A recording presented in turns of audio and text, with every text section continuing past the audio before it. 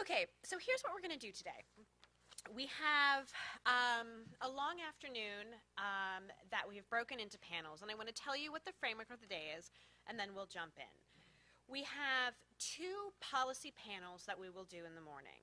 Um, the first will focus on policy around telehealth and te- health IT, and then we'll be focusing a little bit more in on really cutting edge technology, what the future of telemonitoring looks like, and what that can mean to you all.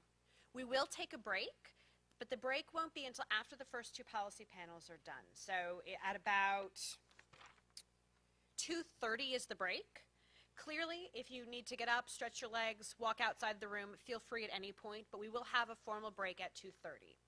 After the break, we're going to come back and have a, a town hall style conversation our the panel's goal for today is to really make this as engaging as possible. So throughout, we'll really be looking to have a conversation with you about your experiences, what you're experiencing in your agencies, questions for the panelists. But we'll designate all of the time after the break for a really robust conversation. So that'll be at the end.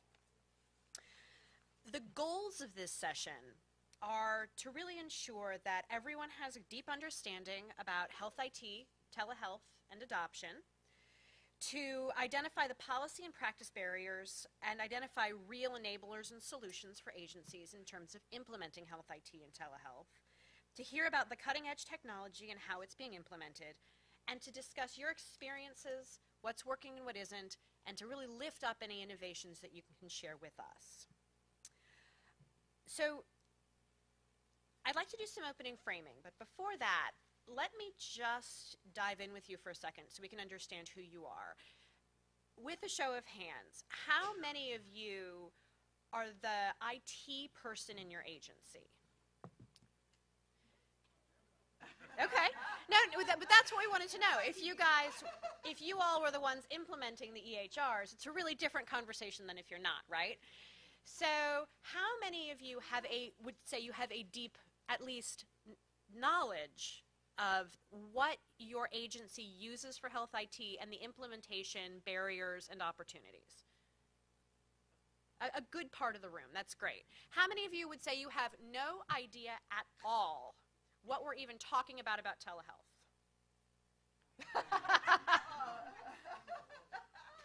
so, for the most part, I would say this audience has a good passing understanding of health IT, of telehealth. Um, and we're all, I think, coming from it from a more executive, administrative, policy angle than we are from a, uh, an implementer sitting there typing and coding, which um, I think level sets for us so that we know how, um, how to focus our comments a little better. Um, anything else you guys want to know from the people in the room? Good. So as we take your questions um, throughout the day, we will ask you to identify yourself, but also um, if you could share with us a little bit ab ab about who you are and your experience with telehealth as you ask your questions. I think that'll really help us um, make sure we're we keep really on point with how we're talking about um, these topics, and that'll help throughout the day. So I am going to take just a few minutes um, to talk about what's happening and why we're even having this session. And I'd like to talk a little bit about what VNAA has been doing in the telehealth space, what's happening in Washington, and why this conversation is so timely. And the short answer is telehealth and health IT is pretty hot in Washington right now. Policymakers are really talking about it. They are at the administration level, they are thinking of what federal agencies can do to address any barriers and to encourage adoption and use of telehealth. Congress is really involved in this, which, you know, it can be a little scary when Congress gets involved, but they are doing a lot to promote telehealth, to promote health IT, and to incentivize its use. This is consistent with the goals of delivery system reform that have been set out in the Affordable Care Act. This is consistent with the high-tech provisions and the meaningful use incentive programs that were passed a few years ago and are being implemented. And all of these disparate pieces are coming together to really create an atmosphere of change and innovation in Washington. And it's really exciting and it's a good time to be doing policy in this work.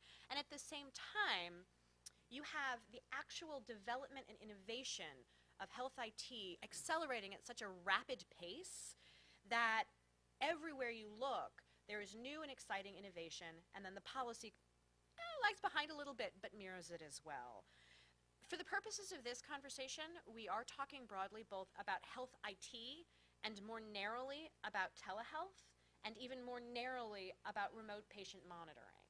They are um, statutorily different sometimes in terms of the way Medicare will reimburse, in terms of the way they are integrated into delivery system models and the way that they work. We will try to be as specific as we can between the distinctions, but shorthand, we're talking about all of these things, and telehealth and health IT and remote patient monitoring, the lines do get blurred a little bit, but do know that they are, they are designated in slightly different buckets depending on what you're talking about. VNAA has been deeply engaged in this and um, really monitoring the policy trends and looking for the unique opportunity to lift up the voice of home health and hospice throughout. And I have been so lucky to work with the VNAA staff as we figure out how to represent your interests. You know, the, the home health and hospice agencies, we weren't included in the meaningful use incentives, which has created some unique challenges. But despite that, all of your agencies and home health in general have really been in the vanguard of adoption despite not being included in that incentive program, which is really a testament to the fact that you know so well what telehealth can do in improving patient outcomes. And so what we have been doing at the VNAA is really trying to bring that to light to make sure home health and hospice will always have a seat at the table in the future and why we're so excited to be pulling your collective wisdom so we can share that in Washington. A couple notes on, just quickly on the last actually 10 days in Washington. Um, you may have heard that the Sustainable Growth Rate Bill, the SGR, the Doctor Medicare Payment Bill, it, it got repealed last week, ending a decades long cycle of crazy politics. Um, we, you'll hear more about that throughout the conference, but I do just want to highlight that it did include some interesting provisions on telehealth and health IT.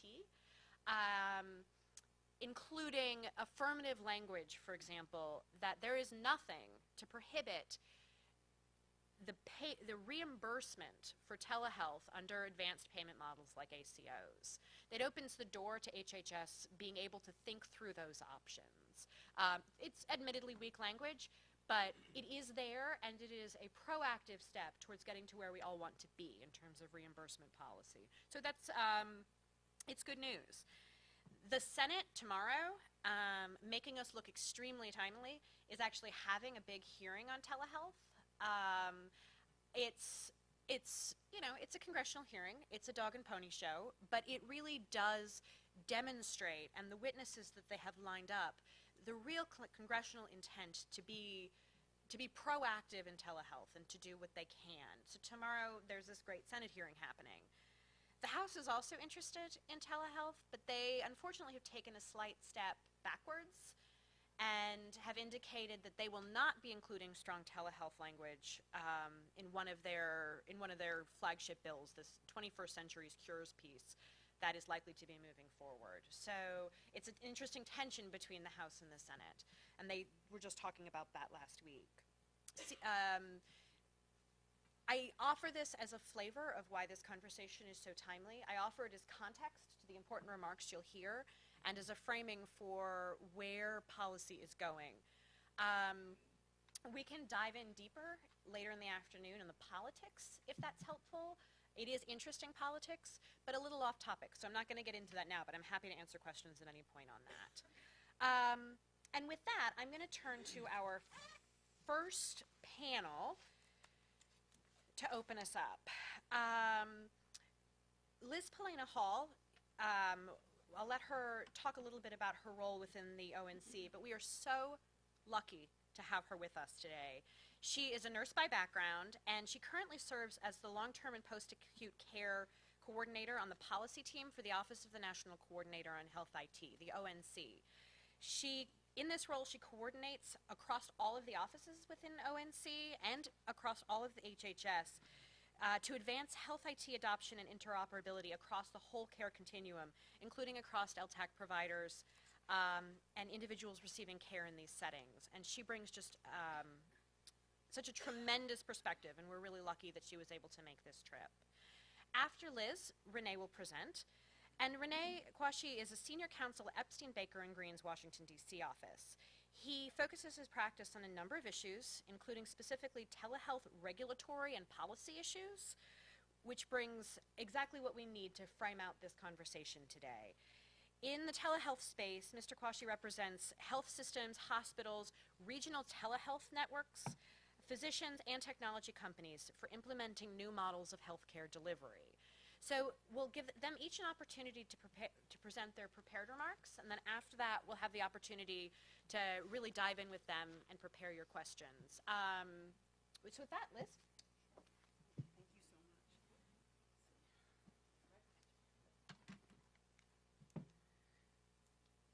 So um, just to, again, provide a little context for you all who uh, may not be quite familiar with who ONC is, uh, we are part of the U.S. Department of Health and Human Services. We're located within the Office of the Secretary, and uh, we coordinate um, and advance uh, the health IT efforts within the department, um, and to include the um, advancement of electronic health information exchange. Um, we were established by the Health Tech, Health, HITECH Act in uh, 2009, and we have a variety of different offices. And as uh, Lena mentioned, I do coordinate across um, all the offices within the um, within ONC. And so, um, as many of you are quite aware, um, we do have the vision for improving healthcare delivery, um, which is better, smarter, uh, healthier uh, care, and a number of the focus areas around payment form to include um, expanding um, payment models to scale, um, promoting integration of coordination of, of, of, of, clinical services, and bringing a health IT to the point of care for individuals. And for those of you who have been um, maybe tracking uh, HHS over the last few months, I just uh, do want to make uh, point out um, uh, this important announcement from the uh, Secretary uh, in January because it is really historic and um, I think sort of presents the frame for um, the following slides that I'll present on are related to health IT and interoperability. It is the first time in history that there are explicit goals and a timeline for advancing alternative payment models um, for value-based care related to Medicare. So the Secretary announced that by the end of 2016, 30% of Medicare payments will be tied to quality or value through these alternate, alternate payment models. And then by the end of 2018, 50%. There will also be linking uh, fee-for-service payments to quality and value. So by 2016, 85% of all Medicare fee-for-service payments will be tied to quality or value and by the end of 2018, 90%. So this is really a game changer for um, uh, many. Um, it does set the mindset differently. So with this shift in payment, providers will be needing to think about how to manage care across the continuum. Um, so it's particularly if they're going to be accountable for health outcomes and financial outcomes and home health and other post-acute care providers will need to be partners in this process. So it won't be just simply thinking about the encounter, but thinking about how um, the patient, where they came from and, and care after um, they uh, receive services um, from your entity. And just to um, provide a little bit of flavor for where we are, um, in terms of um, in some of these models, there are currently 424 Medicare ACOs covering 7.8 million Medicare beneficiary lives. Uh, many of, the, of, these are um, Medicare shared, shared, savings plans, um, as well as Pioneer and other ACOs participating in the CMS innovation models. And the Secretary, under the Affordable Care Act, uh, has new authority uh, uh for scaling some of these models um, that the actuary has certified as saving trust fund money and improving quality. So some of you may be aware of some of these models of care and um, maybe in fact participating in some of these to include um, bundled payments for close to 50 conditions and procedures, um, models uh, to advanced um, primary care, um, uh, other models for uh, addressing dual eligibles, and 34 states are currently participating in state innovation models, or what we refer to as SIM. And there are certainly other business and policy levers. Um, we think certainly that state governments have an important role to play, and ONC has made a call to action, particularly for states, uh, to use their levers to and their Medicaid purchasing power to help advance interoperability. And these may include things like contracts with managed care organizations. And we also think that private payers and purchasers have a role. So we made a call to action for these partners as well to explore financial incentives and other ways that they can begin advancing interoperability. And another, uh, I think, example that where this has played a role this year, as many of you may be aware, in the 2015 physician fee schedule, there is a new um, reimbursement around chronic care management uh, for um, physicians managing two or more uh, persons with two or more chronic conditions, and this is tied to certified health IT. Um, Another important, I think, policy lever for this um, sector is um, the Improving Medicare Post-Acute Care Transformation Act, or what we refer to as the IMPACT Act. And so this was a bipartisan bill passed in September of 2014 and signed into law in October. And I, again, there's requirements around standardized patient assessment data. So in this case, it would be OASIS. And I do want to point out that um, part of this, uh, what's, uh, what the standardized patient assessment data can do is support interoperability. And one of the ways that CMS is doing that is they're working on what they're referring to as a CMS data element library. So what they will be doing is associating health IT standards to those uh, data elements.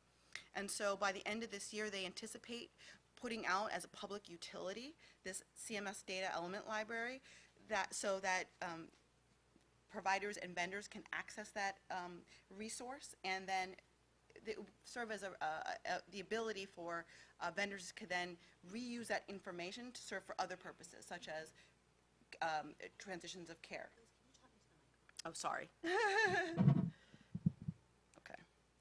And so, as I mentioned, um, so really what our vision is, is making the data, the right data available to the right people at the right time across products and organizations in a way that can be relied, relied upon and meaningfully used by recipients. And so this is really the underpinning for what we were referring to as a shared nationwide interoperability roadmap. Draft version 1.0, which ONC uh, released publicly in January of 2015. And it serves as the guide for the nation towards meeting the goals of shared information exchange across care settings. Um, this was open for public comment. Um, that public comment period did end April 3rd, and we're currently reviewing feedback, but it is a living document which will be updated um, over the course of various years. And so what I do want to point out is some of the, the, the, the goals and um, timelines that were identified through that roadmap that articulate the when and how we get to interoperability. So within the, th- the three-year time frame, what has been identified is uh, the sending, receiving, finding, and using of a common clinical data set across care providers. Within six years, expanding that interoperability, that, that data set uh, to other kinds of uh, health IT end users. So I'm going to talk uh, in future, in a couple of slides about um, some work that ONC is doing around social services that I think you'll be interested in. And then in 10 years, um, leveraging interoperability to help inform a learning health system. So reducing the time from evidence to practice. So I've already mentioned that timeline, and there's some are building blocks here. So as I mentioned already, um, part of that is the, the common clinical data set, also strengthening ONC's certification program um, to um, build out uh, testing tools that could um, help providers and vendors. Uh, educating stakeholders around current federal laws to include HIPAA. There's been um, some uh, just misunderstanding, I think, in, in uh, this, uh, out in the public regarding what HIPAA covers, and uh, certainly HIPAA does support interoperability. So we think that there's um, some clarification that could help uh, in that arena. Supporting business, clinical, cultural, and regulatory environment. So I've already talked about aligning policy and funding. And then rules of engagement and governance. So establishing a governance framework for interoperability, rules of the road, and a process for recognizing organizations that align to these. So another thing to be aware of, we have another tool that's sort of aligned to this is a standard advisory. Uh, this is an approach that ONC just uh, put forth this year uh, to make available a public list of standards and implementation specifications uh, so that, uh, it- and to promote dialogue around uh, the best available standards. And the reason why this is important is uh, because uh, it, it allows for more flexibility outside of the regulatory process for then um, vendors to adopt and uh, technology and build that into the system um, and, and support uh, interoper- the interoperability that we will need in the near term. Also important to note is that ONC just recently um, published their um, 2015 edition of uh, certification. So this is a proposed rules with um, broad health IT um, goals um, included. Um, and part of that, again, is the updating of uh, vocabulary and content standards, increased access, so this would be criteria to support transitions of care for individuals, as well as cri- criteria to support uh, data portability. So this would be enabling providers, for example, to export data out of their system or um, to, you know, into a new system, or for example, um, exporting the data to use it by a third-party system for analytics or other purposes. Um, improving market reliability. So there will be new requirements um, uh, in certification around in-field surveillance um, related to the certification program, as well as the promotion of an open data file related to, ONC has a website that lists all the certified health IT products that have been certified. So uh, going forward, there will be an open data file that will be accessible to the public for uh, product analysis. And certainly support for the continuum of care. So how will this work? Previously, in uh, the 2011 and 2014 editions of certification, ONC included policy that was really kind of linked to the EHR incentive programs. For instance, um, definitions for what is uh, certified EHR technology and requirements for meaningful use measurement. Going forward in this rule and future additions, ONC does not um, plan to include those uh, that uh, policy uh, within its own rule, but instead of it plans to have each program set its own requirements. Um, and so, and the intent behind this is so that the certification program can be agnostic to, agnostic to settings and programs, but can support many different use cases. And so, as I highlighted there, examples of these could be long-term post-acute care and chronic care management. And so, if you think about our certification program as sort of an a la carte menu, I've just uh, um, identified a few different criteria that we think would be relevant for this sector. Um, so again, thinking about interoperability and some of the criteria that support that, certainly transitions of care, clinical information reconciliation, and care planning, which is a new criteria um, in this uh, version of the certification, uh, are some of the areas that we think um, would be certainly relevant to this space. Um, and the second and third rows really are other cr- um, criteria that either are uh, are relevant to the first row or um, mandatory for any type of health IT certification. So again, just as an example of how uh, this sector could lever, leverage ONC's um, certification program to provide assurance to purchasers. So if you're interested in um, reviewing the rule and providing comment, here are some links. Um, and, oops, let me go just back. And so, and the comment period does end uh, May 29th. I also do want to just call your attention to some new standards work uh, to support interoperability that uh, you may be interested in. Uh, and this is through what ONC refers to as our S&I framework. S&I uh, framework uh, kicked off in, in 2010 and is really an open and collaborative community of stakeholders that um, work together, generally online, to address interoperability needs. And there was a recent initiative that was kicked off uh, November 2014 uh, around uh, long-term services and supports. And so, and this is in par- partnership with uh, uh, CMS. It is driven by the requirements of a grant called uh, the CMS TEFT grant. Again, this focuses on Medicaid community-based long-term uh, services and supports. So think about Medicaid waivers um, and the populations are served by those waivers. Um, in uh, March of 2014, CMS awarded um, nine states uh, grants for this particular um, uh, uh, effort, and six TEFT states are participating in this S&I work. Uh, the effort is focused on uh, identifying standards to support person-centered service planning across uh, with community-based systems. So think about um, long-term service support systems, clinical care systems, and personal health systems that individuals may have. And again, so um, just providing a little more context. Um, prior to this initiative, a lot of the standards work that ONC was doing is really focused on uh, clinical data. This is really um, we're pretty excited about this because it is focused on that social service data and filling in the gaps. to help, you know, identify um, information that would be needed to flow as between the community and other uh, key um, partners within the care continuum. So if this is something that you are interested, I'm, I'm certainly happy to talk offline about it, but this is how you would join. Um, the initiative meets every Thursday from 12:30 to 1:30. You can follow the link to the wiki, and again, the, the calls are public and online. Finally, I'm going to wrap up with um, a new ONC funding announcement. It's always great to hear about uh, ways you can get money. Uh, so this was announced um, last week at HIMSS. Um, so this uh, funding announcement is called the Community Interoperability and Health Information Exchange uh, uh, Program, and it will uh, provide $1 million in grant funds to, for community projects. Um, and so uh, the funding is for up to 10 community organizations, state or local government agencies, or other community groups. And the idea is uh, to demonstrate the use of health IT, particularly for providers that were not uh, eligible under the Medicare, and Medi- uh, Medicare and Medicaid uh, EHR incentive program. So this could include long-term post-acute care, behavioral health, individuals and caregivers, safety net providers, and others. So I've included here a number of deadlines and key dates. I just want to call it to your attention. The informational webinar will be May 6th, and you can follow the link there for more information. And I just have a, um, I created a resource slide in case you're interested in diving a little deeper. We do have a number of reports and issue briefs available, as well as our um, colleagues at ASPE have um, put out a number of reports that you might find um, helpful as well. Okay. Thanks. Just one announcement, particularly as we look at that list of resources, because did you manage to copy all those down? Oh, yeah, right. Um, I thought maybe not. oh, the other one. All of the slides are available on the app.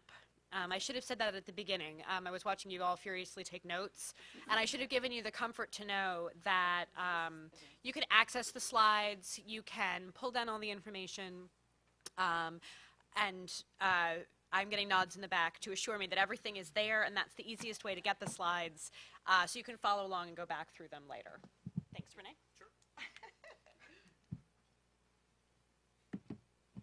Can everybody hear me? Good. All right. So basically, I'm a, I'm a telehealth guy. Um, I deal mostly, I, I would say 80% of my practice is telehealth, and I deal with all manner of telehealth, health system side, payer side, employer side. So I'm supposed to talk about uh, payer and employer incentives, but I find that before I get into the issue a little bit, to provide a little bit of context. So the first few slides are just background for you. And when I was sort of researching for this, I found some of this information very interesting. So, healthcare spending. Look at where we've gone in 50 years. And to me, the interesting thing here is the gap between 2012 and what they project in, in uh, 2022. A humongous jump in healthcare spending. Look at it as a percentage of GDP. Almost a fifth of our GDP is related in some way to health. And when we compare it to other countries, you'll see that this is way out of whack compared to what other developed countries' numbers are. Again, look at the jump in the, in the 10 years uh, to the projected 2022. And this is a comparison with developed countries in terms of per capita spending on healthcare as a share of GDP. And you can see we are way beyond the mark compared to some of these other countries. And when you look at healthcare factors and indices and outcomes in some of these countries, particularly starting from France all the way to Switzerland, they're better than the US in almost every way. Yet, their spending seems to be smarter than what we do here in the United States. I found this a very interesting chart only because it shows you how the spending is distributed. And, and the thing that you need to pay attention to is hospital care accounting for 32%. That's the number everybody wants to drive down. Expensive, inefficient, that's the number everybody wants, wants to drive down. Now, if you look at home care, which by the way includes hospice care, only 3% of spending. So I just wanted, I found this chart incredibly interesting in, in terms of how much of our care is actually provided in hospitals and how inefficient that is. By the way, all these slides are from the California Healthcare Foundation that does a tremendous job of researching this, this kind of material. And then by sponsor, and so you can see a lot of us receive our insurance um, from private business through our employer, and that's why we're going to talk about employer incentives in in a second. This chart is from 2009. A colleague of mine always uses this, and I never knew this. Look at the first two lines. 5% of the population accounts for almost half of healthcare spending in the United States. That's an incredible, incredible number. The second number to me is almost just as bad. 20% of the population accounts for four fifths of our healthcare spending. So a small segment of our population is driving the spending in this country. And how do we get to those people and how do we provide care to those people to drive some of these numbers down? So, with that context in mind, I'm going to talk about what I came here to talk about, which is payer and employer incentives. So here, here are sort of the five factors I see as driving some of this. So we're in a transition. We're in a weird phase. We are going from a fee-for-service environment where providers provide a service, payers pay, to what one of my colleagues calls income for outcome. So you're only going to get paid if you have the right quality measures in place and if patient outcomes meet a certain level. Um, and to get there, we are testing all kinds of interesting models. We've talked about ACOs, medical homes, readmissions initiatives. Um, we're testing that to see whether or not we can actually come to a system that is a an efficient income for outcome. We don't know that yet, but this is an interesting transition over the next half decade. Then there's the patient. Consumers are demanding in-home treatment. People don't want to get in their cars and drive. It's inconvenient. A lot of people don't want to take time off work. They would rather have care provided in the home so long as it's quality care. Telehealth is increasingly being viewed as an efficient and cost-effective delivery model. Now, the thing about telehealth you have to remember, the data that's available is not where it needs to be, and that is what is driving some of the issues that Lena talked about in terms of Congress and some of the controversies. I think there's a perception that there's not enough data out there to support telehealth as an effective um, care delivery model. And then available technology. Some of the other speakers are going to talk about technology that's available today. I go to the American Telemedicine Association exhibit hall, and you walk up and down those halls, you see some of the most incredible health technology you'll ever see. None of it is ever going to be in a hospital or any kind of system you can think about simply because the technology is so far ahead of where we are clinically and in terms of laws and regulations. And we can talk about that a little bit later. But the technology is certainly there. Employers are under different kinds of pressures. Now, some of you may have heard of the Cadillac tax. It's a tax that's going to be imposed starting in 2018 on employers. It's a 40% excise tax. That if um, certain thresholds are exceeded. I think it's $10,000 for individuals, a little over $27,000 for, for a group. If those th- premium thresholds are exceeded, a tax is imposed on employers and payers. So guess what? Premiums are tied to healthcare costs, so employers are incentivized to try to drive down healthcare costs of, of their employees, plans of their enrollees. How do you do that? You cannot continue to do the same thing you're doing now. Uh, what they're also finding out is that a lot of employees refuse to take time off work to go see any kind of provider, whether it's a physician, PA, um, whatever have you. Why? The AMA estimated that for a doctor's appointment, for the average physician's appointment, an employee has to take four hours off to go see the provider. So you can see why that happens. The more visits you forego, the worse your health problem may be. It may be exacerbated and may actually end up being more expensive than if you had taken the time off work. Now, you've heard a lot of employers, especially your large employers with centralized workforces, have implemented on site clinics. Some of them work, some of them don't. And what employers are finding out is they're much more expensive to operate than originally imagined. So, guess what? A lot of employers now are looking at telemedicine as a possible vehicle um, for their employees. There's so many issues, legal and regulatory issues we can get into with telemedicine that employers don't understand, but they're going to understand pretty soon. Um, uh, a couple of us wrote an article about telemedicine and employers and legal issues, and I cannot believe the response we got from that, simply because employers don't quite understand all the legal and regulatory issues from licensure, scope of practice, credentialing, privacy. We could go on and on and on and on. The other thing, we talked a little bit about this, but I'm, I'm fascinated by the fact that so many consumers seem ready for something else. And here's a few studies that have been done. uh, you know, three-fourths of consumers say they would use telehealth for a lot of conditions, and that number is expected to grow.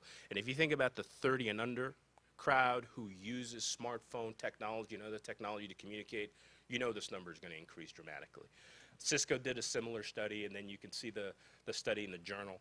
Uh, similar numbers, as you can see, pretty consistent across the board. And here's some evidence of the telehealth market. I usually put this up to show folks what is really happening in the market. As you can see, there is going to be tremendous increase, not just in the United States, but globally. In fact, I would say that if you look outside the United States, you're probably going to find some of your more interesting telehealth initiatives occurring by necessity. It's the same reason why in sub-Saharan Africa your smartphones are phenomenal by necessity. Their landlines are terrible. They have no other means of communication. So this is what's going on in the market, and as you can see, the market is really, really going to explode in the next 10 years. And I see it already with all the interesting models um, that are out there. Now, this is uh, Towers Watson is a consulting research firm that does a lot of work in uh, employer health benefits and cost management kinds of uh, issues. And here's what they've talked about. Here's their conclusion about what would happen if employers actually use telehealth services um, in a meaningful way. Um, now, currently, only a fifth of employers offer telehealth services for their employees. Now, this is employers of a thousand employees or larger. Um, you can see a lot of the other numbers there, but the other number you need to uh, be concerned about is that 34% more are considering doing it over the next three years. And the reason the three years is important is back to the Cadillac tax. Employers, large employers, self-funded plans are incentivized to control the healthcare costs of their clients. Everything they've done so far hasn't worked. Telehealth is the next frontier. Here are some of the drivers that we need to be thinking about, and I probably should have included this in my context slides. But look at our population by 2030. Look at the share of our population in 2030 that's going to be 65 or over. That's a fifth of our population. You couple that with the fact that we have fewer physicians. Um, there's already a shortfall now um, by 63,000. There's going to be a shortfall that's going to increase in 10 years. Now, the interesting thing here is a lot of the shortfall is with your PCP population, your primary care physician population, and some of your specialties as well. So you've got an increasing population, an increasing share of aging population, fewer physicians. That doesn't sound like a good thing to me.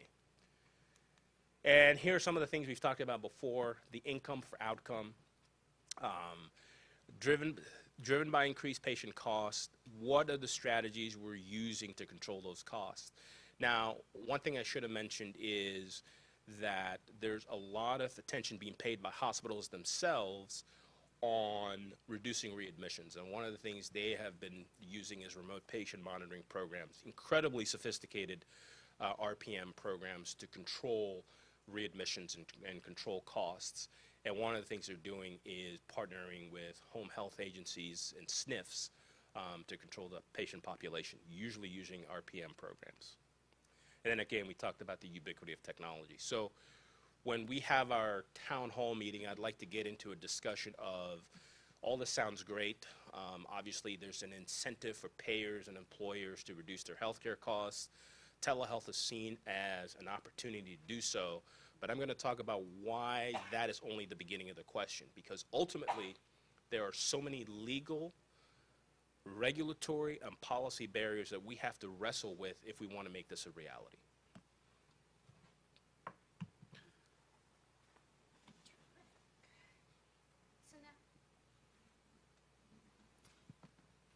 So now, we'll switch. how about if I go? Now I'd like to open it up for questions. Um, let me. We have two microphones. Um, yeah, I think that'll make sense. I'll I'll I'll field from here. We'll have the mic here. Um, oh, we need to do the questions into the mic too, don't we? Okay, hang on. Yeah, we'll, we'll, we'll readjust. Watch. Watch how flexible we can be. Here, you take this one, I'll take this one. We're excellent. Look at that. Okay. So, so, okay. thank you for bearing with that when we've, we have a system now. Um, we are going to open this up for questions, and we have some time to dig into the policy, um, both from the federal perspective and more broadly. If you have questions, please be sure to introduce yourself, where you're from, and a little bit about um, your either background in health IT or your interest in being here so we can make sure um, we begin to understand a little bit more what's happening uh, on the ground uh, for you all as well. But I'd actually like to start, I'm going to take the my prerogative here to start with a question. Um, Liz, Rene, what what are your given this complex regulatory environment, given everything that's going on, what are some suggestions for getting started? You know, what are some suggestions in getting started in adopting health IT, in engaging in health information exchange? What do you, how do you start?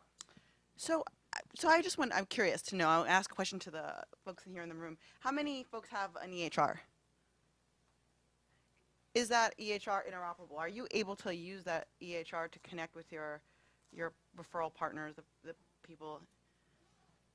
Ah, there you go. So a few of you. Yeah, over here? And so is it meaning, and so I just, yeah, go, very good. So I mean, I guess what I'm, t- the, one of the things to think about is, you know, think, put get together a plan and think about what are some of the quality improvement initiatives and work that you're wanting to achieve. And think about how your health IT can support that. Um, have you all been working together with your referral partners in the community to ask them, you know, questions such as what are the kinds of information that you want to receive and the kinds of information that you in turn want to receive, again, to help support some of those quality improvement uh, i- initiatives and work. Is there, are there, is there, anybody want to talk a little bit about some of that? Go ahead. Hi, uh, I'm Richard Robertson. I'm from Kansas City. Uh, we have quite a, uh, an extensive um, telemedicine system with Honeywell and some other things going on. But in answer to the question of interoperability, I think that you'll find that most VNAs are independent of hospital systems. Some are not, uh, some are linked in.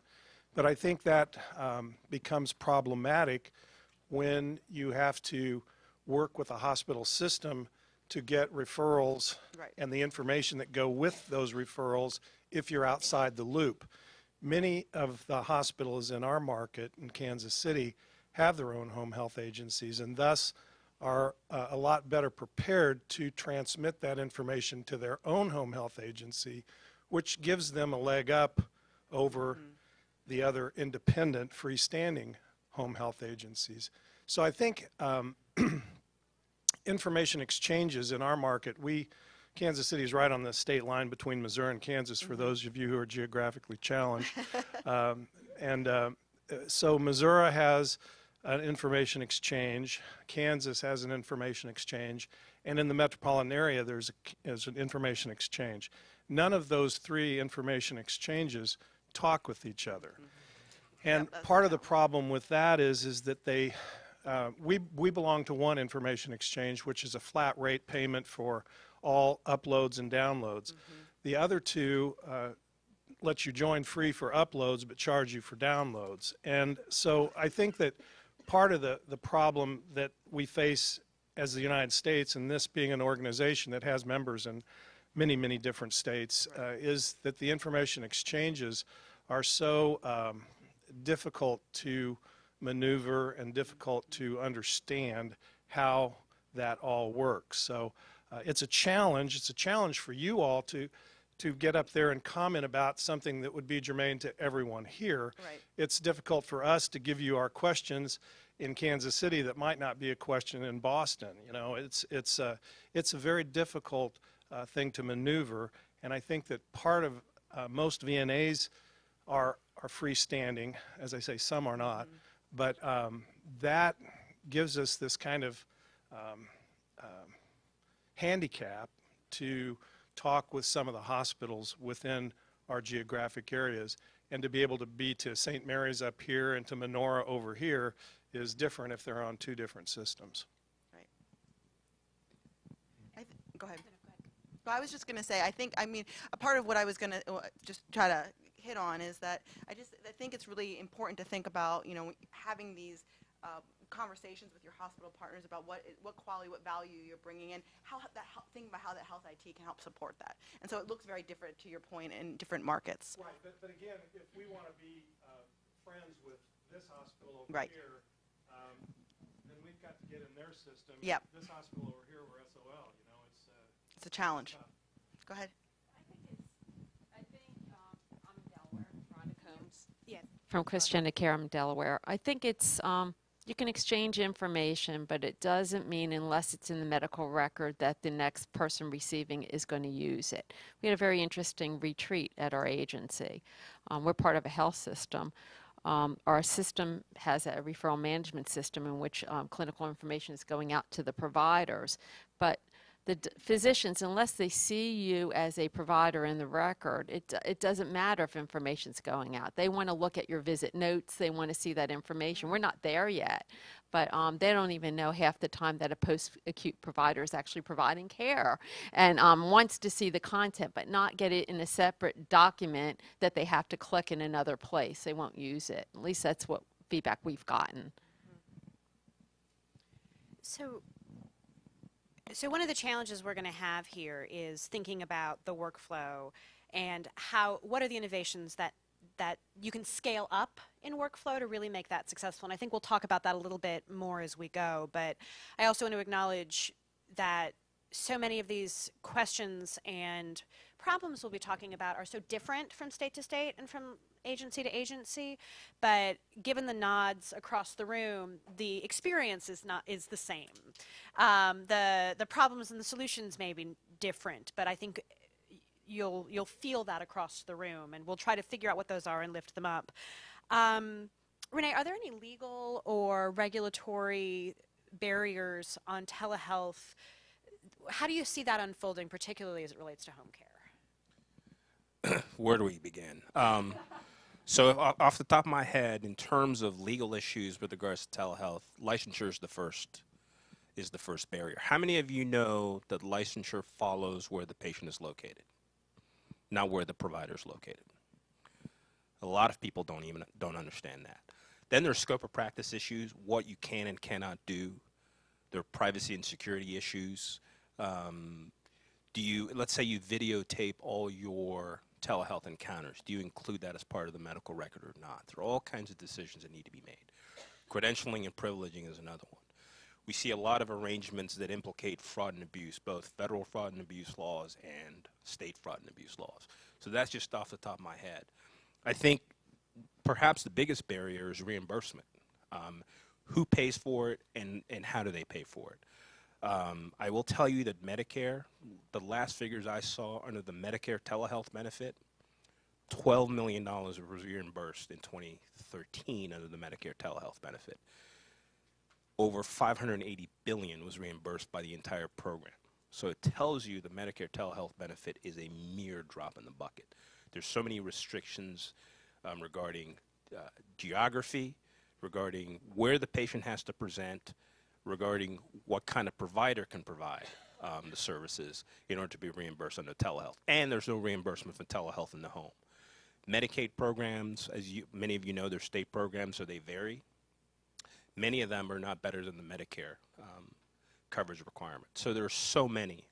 Um, and in terms of home care, in terms of post-acute, I think in some ways um, there's progress there because hospitals now have these readmissions penalties under Medicare, and so they are really partnering in a better way, at least the hospitals we represent are partnering in a better way with their home health agencies and other post-acute care providers, and they're also paying attention to um, acti- activities of daily living. They're paying attention to daily vitals monitoring. So we see a lot of uptick in RPM programs driven by hospitals. Any other questions yes Good afternoon. My name is. Good afternoon. My name is Michael Socio, and I'm from uh, Connecticut, Hartford, Connecticut. The question is really for Rene. When you presented the data on telehealth, it feels somewhat as if we we keep using that term telehealth, and it's changing.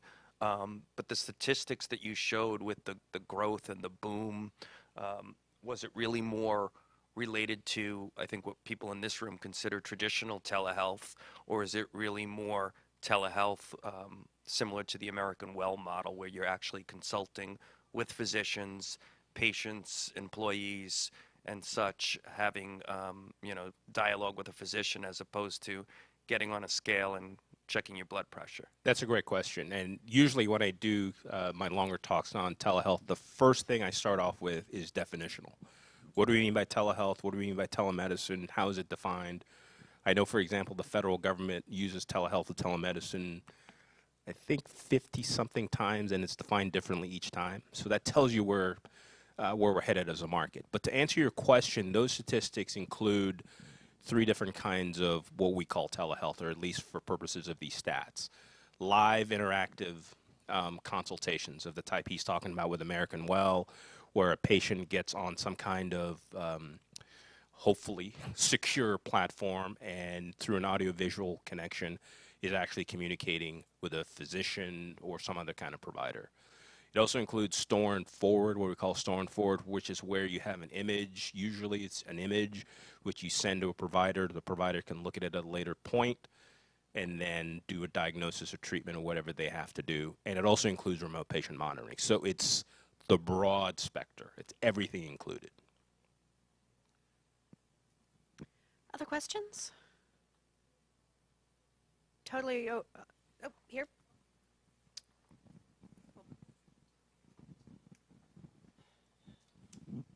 I'm Pat West. I'm from um, the Eastern Sierra in California. And um, Liz, I would focus this toward you, where you've introduced us to ONC, which seems to have federal money focused on using these wonderful um, systems, products, operations and yet, at the same time, another branch of the same government is the payer source and doesn't pay for any of these wonderful things.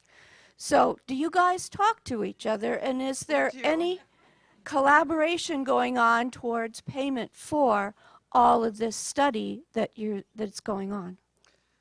Well, I- think, I think, we certainly see telehealth as, as one of the solutions, particularly, as was mentioned prior, um, to supporting some of these payment reform models. And I think as well, um, so we're looking at how, certainly how it fits in. Um, and I know through our funding opportunity announcements, so these are, again, grants, these are demonstrations. And so I think through our work, we're able to, you know, build out some of the evidence that was noted as being needed. I think those are, again, some of the low-hanging fruit for us. Um, uh, so we certainly do talk to our CMS to- colleagues, and I think we're certainly seeing sort of a the a, a movement towards you know further adoption of, of meaningful of um, of telehealth services. But I think it's you know it's progressing, and we need to. There's a lot of um, more that work that needs to be done in this space, um, particularly around getting some agreement. One in one area is like the federal definition. There's we, we have a number of um, different uh, entities within the federal government that are, are working on telehealth.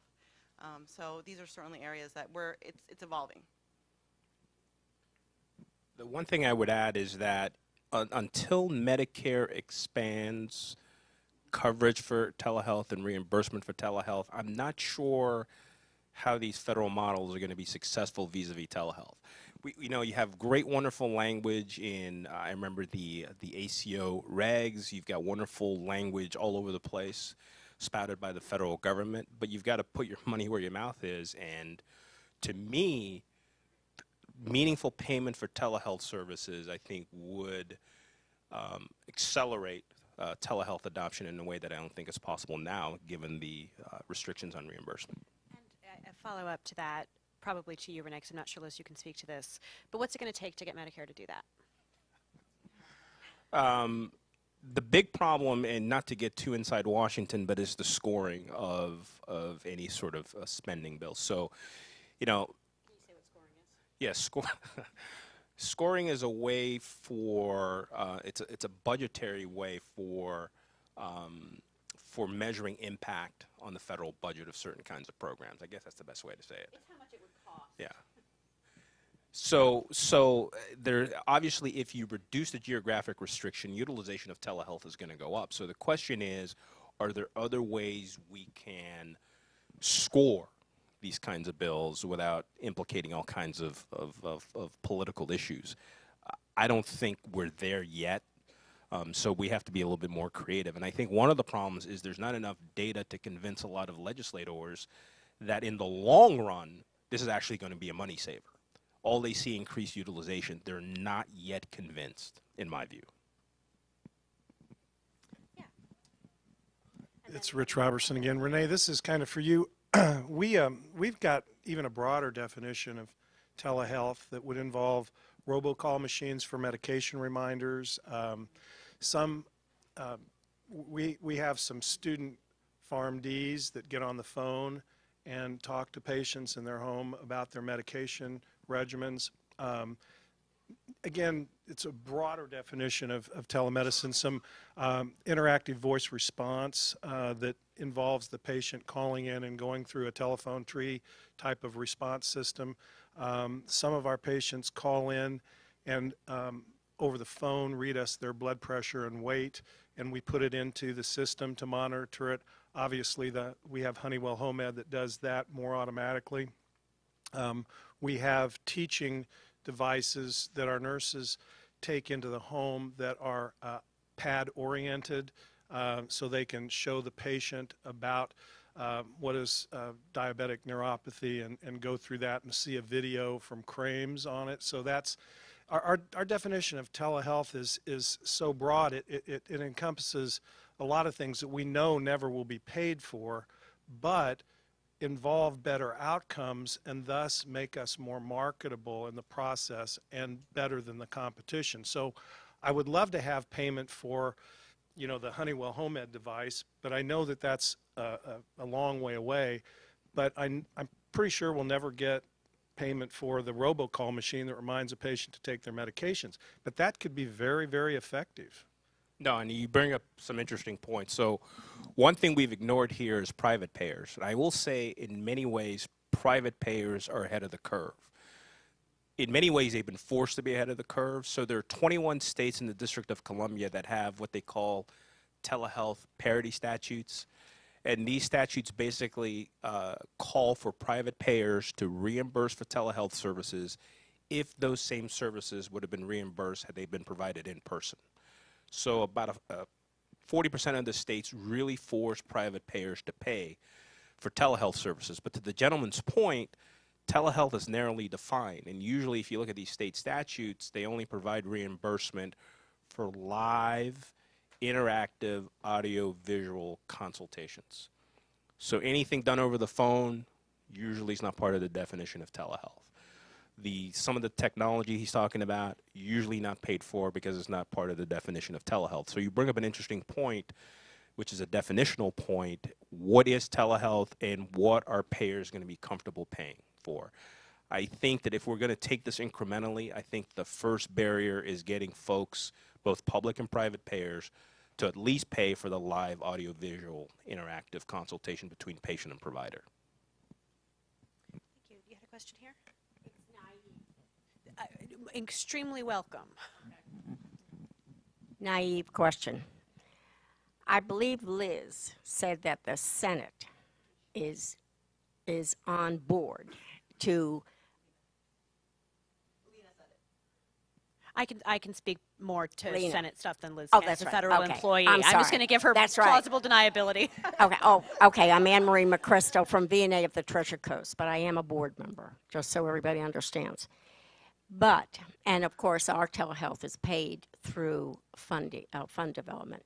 So you said the Senate was just about to open up and they were, they were, you know, open up their, their minds to reimbursement for telehealth. But the House isn't. So what drives, Rene? Does CMS drive the government? Does the government drive CMS? That's my question. I'm going to let Rene tackle that, but I, I, I'm going to. I I do want to put a plug in though for part of the reason I, as you know, as a as a partner of VNAAs, I'm so excited to have this session. Part of what drives this is demand. a big part of what's driving technology and innovation and what's driving Congress and the administration right now is demand from providers and consumers that technology and telehealth plays a real role in the ability of patients to stay at home, to get coordinated care, and for all members of the care team to really have appropriate data and workflow available to better manage their care. And if you assume, as I do, that Congress listens to its constituents, you know, they are driven, at least in part, by what they're hearing from their home health agencies as they consider this, as what they're hearing from home. And, you know, I, I, I, I do, I'll, I'll let Rene who's hopefully had time to come up with a better answer than mine, um, but want to put a plug in for the fact that there is a role to play of all of us in demanding this and demanding the efficiencies and demanding the reimbursement because it is it is critical. Chris, do you actually want to jump in here as well? By show of hands, um, have your agencies invited or taken your own senators or representatives on home visits? I would highly recommend that 100% of the hands in this room be raised next time because it, it is exactly as I, I was just in Washington uh, meeting with with um, both House and Senate from from different states, and they don't get what we do. Um, and so, uh, and and for those that already have, um, we know uh, Kansas City, you have a, a, a telehealth program. How many have an active telehealth program or had one that they're trying to figure out how to revitalize? I would recommend you also when you do those home visits, take them to a home that has a patient who has a wonderful story. Everybody who has a telehealth program has one Mabel or or Steve that, that has this wonderful story. Take them into that home because they don't get it. They hear they hear the vendors talk about it, they hear other people pushing it, but until they're in that home and they have this this individual who's be able to stay in the house instead of being in the ICU over and over again 16 times in three months. That's what that's what they need. So if you if you haven't done it yet, do it uh, as soon as you can. yeah, that is a good one. That's a really good one. But so let me reframe this question then to Rene and then to Liz. Um, you know, Rene, given that your role is working with policymakers to change their mind and to bring these forces to bear and to really, you know, advocate for telehealth, to what do they respond? You know, what is driving the interest? You know, what, what can be done? The, the, the two words I always hear are evidence based. So I think there's a perception, I'm not sure if this is true or not, but there's a perception that there's not enough data um, out there to really make a convincing case. Now, I would, I would say, look, the VA has done a phenomenal job and they've got phenomenal data. But one of the things that the counter argument to that, it's a closed system. Of course, you're going to have great data. It's a it's a closed system. It's easy to capture a lot of the data. They don't have a lot of the same barriers that folks outside the VA have. Um, there's also not a lot of look at non-U.S. peer-reviewed studies. There's a lot out there. I, I can think of one in the U.K. that showed phenomenal um, outcomes from the use of telehealth. So I think, in addition to what the gentleman from Cardiocom said, which I agree with 100%, a lot of these folks have no idea what a lot of you are doing. I think data, to the degree that you can provide data on a consistent basis that makes the case, the better.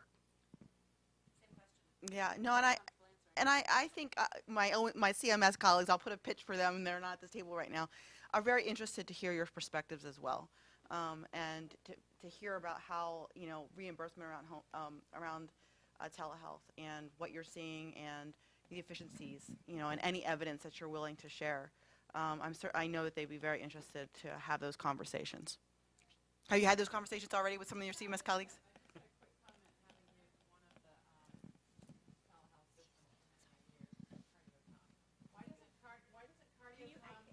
Grab the mic. Sorry. No, no, just right behind you. Oh, okay. Um, I'm with these two ladies with the VNA of the Treasure Coast in Vero Beach, Florida.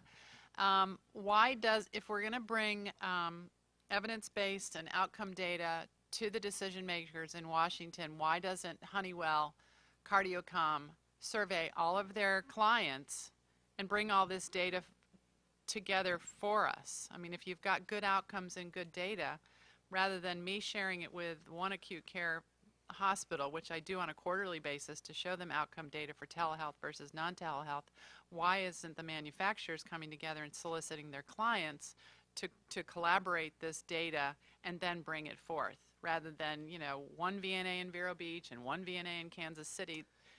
I mean, there's strength in numbers. Why aren't the manufacturers that we're partner with helping us provide that data on a, on a broader basis? I'll give it a shot. So I'm Liz Madigan. I live in the Ivory Tower.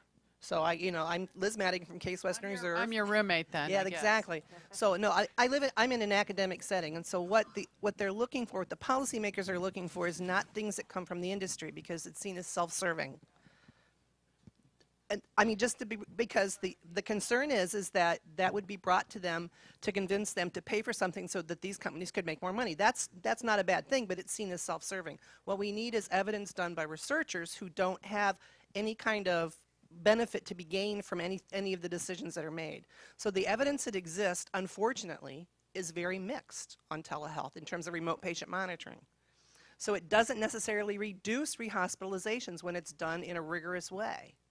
And so our challenge is, is that it does have benefits in other things. So it does, it does reduce the length of the hospitalization, but it doesn't necessarily reduce the number of hospitalizations, right? So it, it improves patient quality of life, but it doesn't necessarily reduce emergency department use always. And so there's a lot of mixed results in the evidence here. And so that's part of the challenge Rene's talking about. And, and the, the folks in Washington, the staffers who are helping their legislators make these decisions, that's the body they look at. That's the information they look at. So there's a lot of good evidence from home care agencies who've done this, and that's why I think Chris's point about taking your legislator out, right? Because they're trying to balance both what the science says as well as what they actually see. And what's more compelling to them is what happens with their with the people that they represent. So those stories are very powerful, and I can't emphasize enough that you can counter some of the things that exist in the scientific evidence that's sort of mixed up. I mean, Dr. Bob's back in the back. He can, he can tell you the same thing I have. We've looked at this stuff. It's really very sort of, eh, sometimes it works, sometimes it doesn't. It's not overwhelming and persuasive, but those individual stories are. I would just say that your, your, those, the three companies you mentioned, um, I've worked with all of them over the last 13 years, and they have lobbyists and they are trying to help advocate.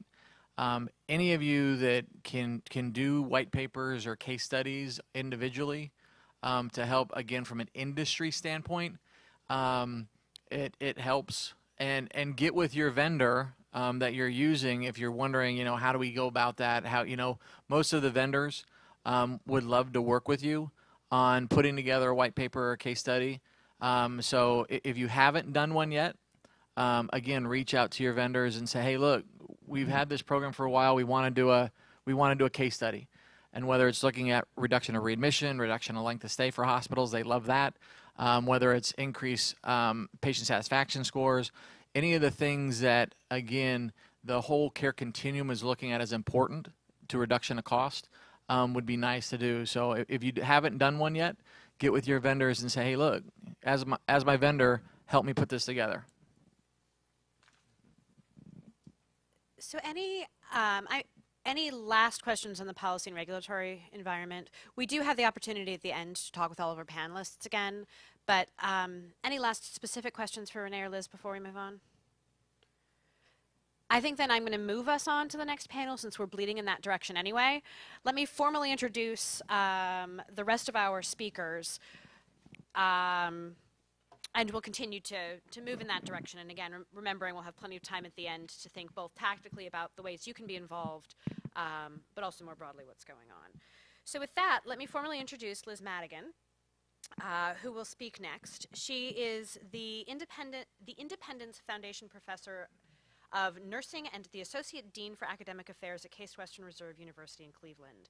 She has been a nurse since 1979 and a home health care nurse, home health care nurse, agency administrator, and researcher since 1981. She has had multiple studies funded by, the, by federal and foundations in examining patient outcomes in home health care, and her perspective on data research and what's happening in the home and health industry is just going to provide so much depth to this conversation today. Um, moving down the line, Alan Bugos is the head of technology and innovation for Philips Home Monitoring, Philips Lifeline. He is responsible for designing and implementing technology for next generation devices, products, excuse me, managed solutions for connecting for connected alerting, monitoring, and health informatics within the home for Philips' global customer base. And he brings more than 25 years of hands-on engineering and, and IT leadership experience in telecommunications, mobile and internet technologies, and data solutions.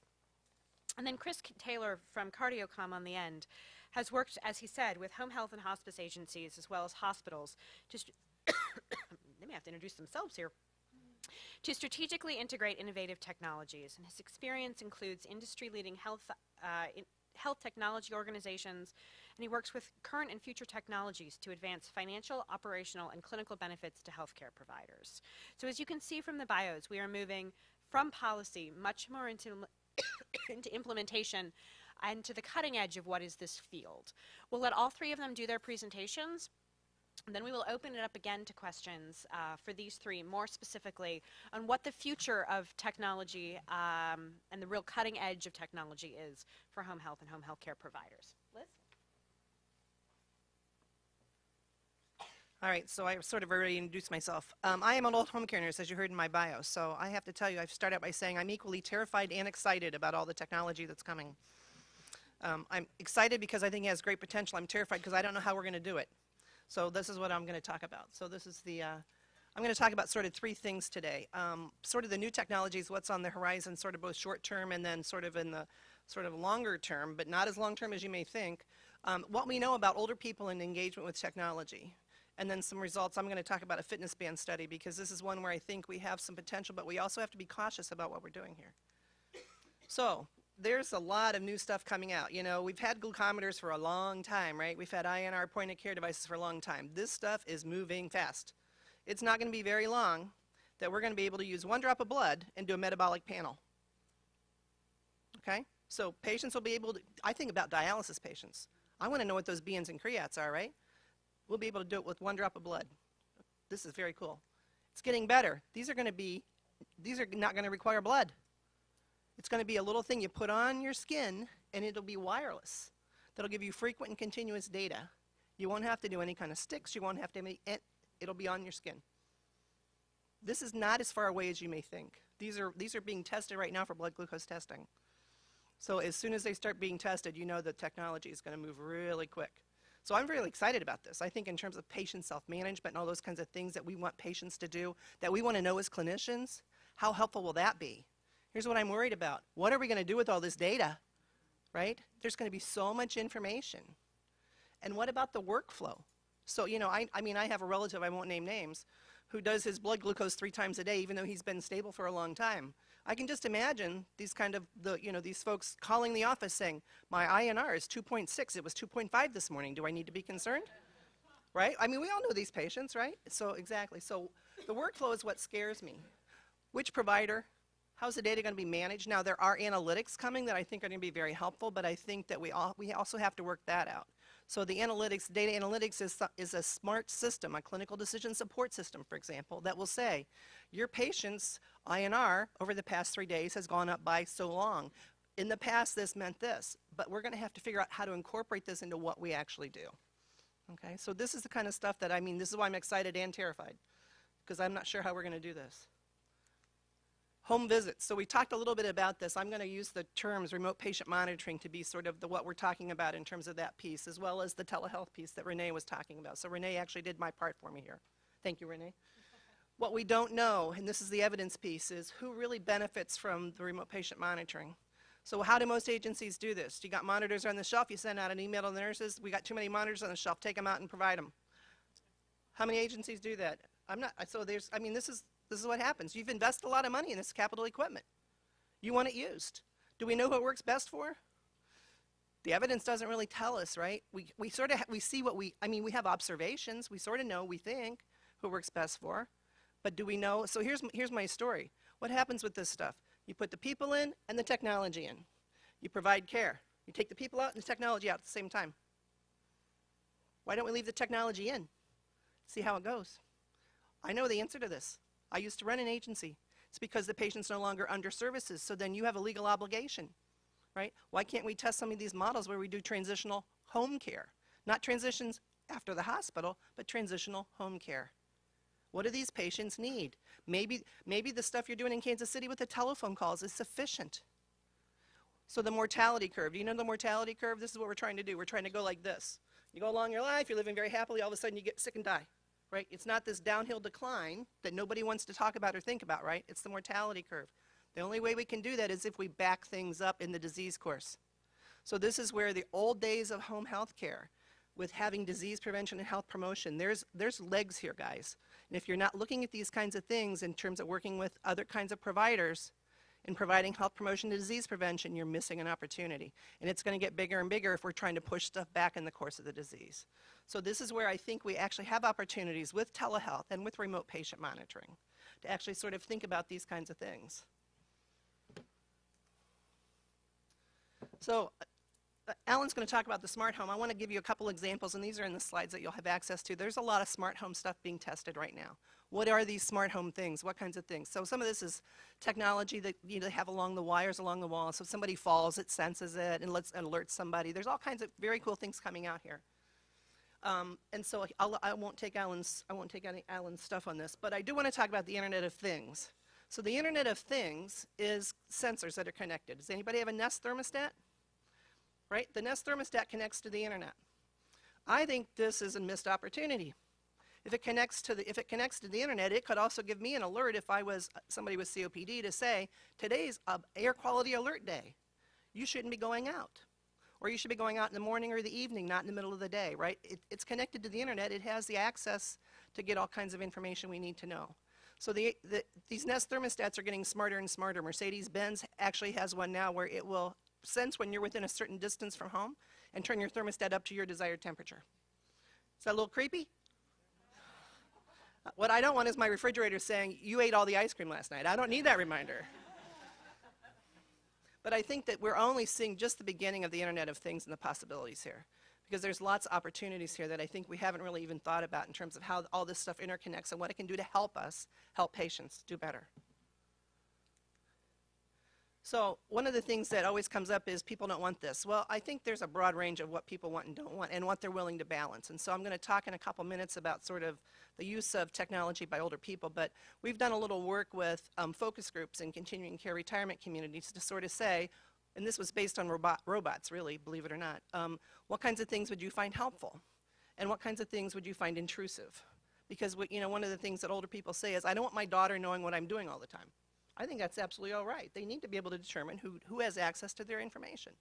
But what the interesting thing to me was when we were talking with these older folks, their concerns about privacy and intrusiveness were totally outbalanced by the fact that if it gave them an opportunity to have some information shared with somebody that would help keep them safe, they were all about that.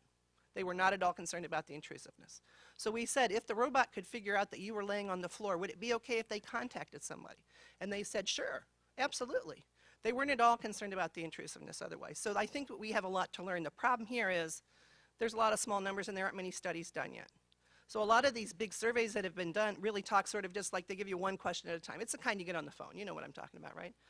So what we haven't done is really sort of dig into some of this kind of stuff and really look at these balances between intrusiveness and privacy and security and all these things that are important, but at what risk, right? Or what are they willing to give up to get that kind of, you know, because people say, as I got older, and as I got frailer, I was okay with more help. I was okay with people knowing more because I was worried that I would fall and nobody would find me. So they were willing to sort of balance those things out in a very different way. We don't have the definitive answers to these things yet. So smart sensors, um, so there's all these apps, right? Did you realize there's about 400 health-related apps that come out every month? Every month, new health-related apps? Not regulated, uh, my favorite is the one where it says, use the light on your cell phone to treat your seasonal affective disorder. They're not regulated. So some of this can be snake oil. That's why I put snake oil on there. There's just, some are legitimate and very helpful. Others are totally bogus. And because, it, because it's, it's, a wi- it's the Wild West out there with those apps. So when people talk to you about apps and you know, I got this new app, you got to go, okay, let's look and see what we got. Some of them are very good. They're very helpful and others are just, you just don't know what you're getting. So here's the other thing that's coming. So in, what we're going to have is vest, they're really testing vests and clothing now that have sensors in them. So, you know, if you have AFib or something like that, it'll pick up, your shirt will pick up whether you have AFib or not, t-shirt. Send a remote, you're, you're having a period of AFib, atrial fibrillation. Want your provider notified? That's very cool, isn't it? Now there's implantables, and so some of these are small implantables, and some are big implantables, and this is again where I get into the creepy factor. It feels like science fiction, right? But this is a lot closer than you may think. Actually, some of these things are already being tested. What we don't know is, are people going to use them? Will the data be useful? What are we going to do with all this information? What about the worried well? This is the folks, these are the people who are going to the ones, like my relative I'm not naming, who routinely like sort of monitor these things very closely.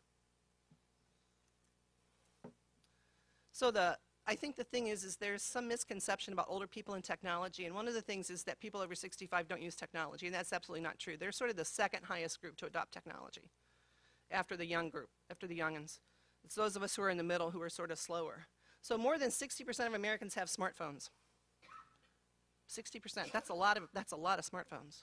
And then there's a lot of people who are smartphone dependent.